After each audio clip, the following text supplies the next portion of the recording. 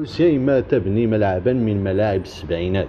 نعم بعد ما شفنا في الكاغيت أنه غنبنيو ملعب من الملاعب العالمية وأنه غيكون من أحسن الملاعب في افريقيا وأنه غنستضيفوا فيه كأس العالم إلى آخره.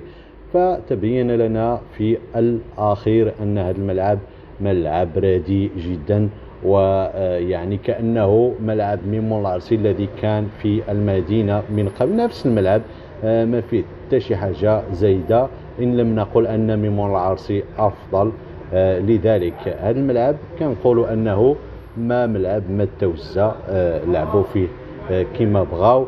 هذا الشيء رديء جدا ما كاين لا تصميم لا والو وأيضا طريقة تثبيت الكراسي طريقة يعني المغطى نصف المغطى لأنه المغطى الآخر مشى ما نعرف فين مشى فهذا الشيء كي يعني كيبان رديء جدا رديء.